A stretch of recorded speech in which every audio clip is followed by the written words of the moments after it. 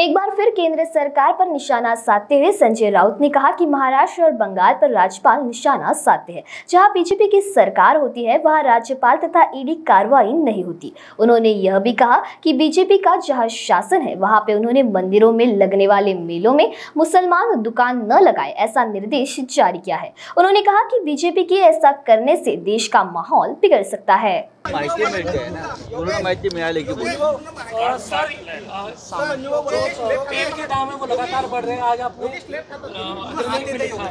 तेल के दाम बढ़ रहे हैं। कल बहुत दिन के बाद पार्लियामेंट, संसद के दोनों सदनों में महँगाई के ऊपर हंगामा हुआ और सदन नहीं चल पाई। अब चुनाव खत्म हो गया। तो महँगाई बढ़ गई।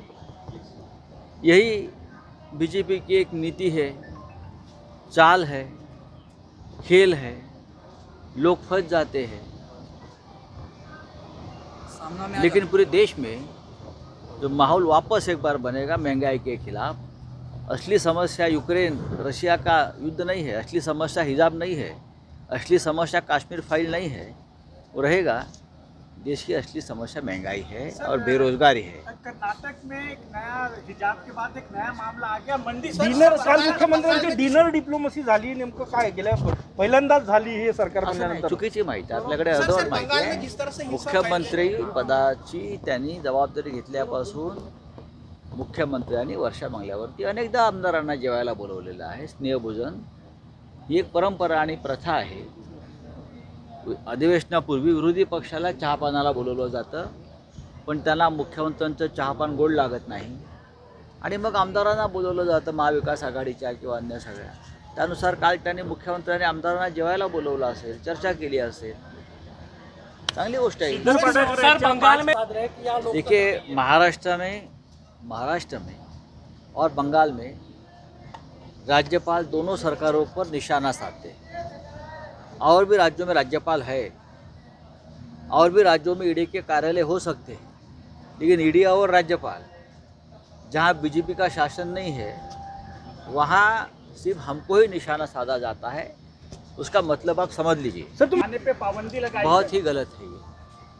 ये बहुत ही गलत है। इस प्रकार का माहौल अगर इस देश में बढ़ता जाएगा और बढ़ाया जाएगा अपने राजनीतिक स्वार्थ के लिए तो देश का माहौल ऐसा बिगड़ेगा की विभाजन पूर्व स्थिती पैदा हो जाएगी केंद्रीय तपास यंत्रणा ज्या पद्धतीनं सुडाच्या भावनेनं बदल्याच्या भावनेनं तपास करतायत आणि कारवाई करतायत त्या पद्धतीनं महाराष्ट्र सरकार आणि महाराष्ट्र गृहमंत्रालय कधीच करणार नाही.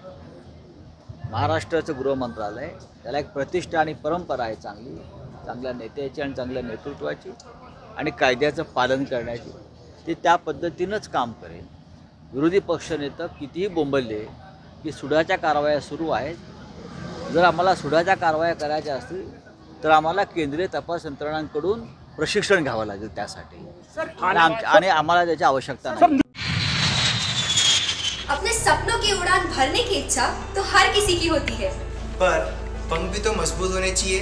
जो देता है Flywheel aviation academy Flywheel aviation academy एक ऐसा इंस्टीट्यूट है जहाँ पर एयरलाइंस एंड एयरपोर्ट हॉस्पिटैलिटी और टूरिज़्म मैनेजमेंट साथ ही यहाँ campus interview guidance by industry expert practical training at airport expert faculty personal grooming जैसे कई सारे बेनिफिट्स आप पा सकते हैं। Flywheel aviation academy one degree three job opportunities Flywheel aviation academy gives you a degree और diploma with a job Flywheel aviation academy 365 Gandhinagar LAD college square beside Karnataka Bank Nagpur.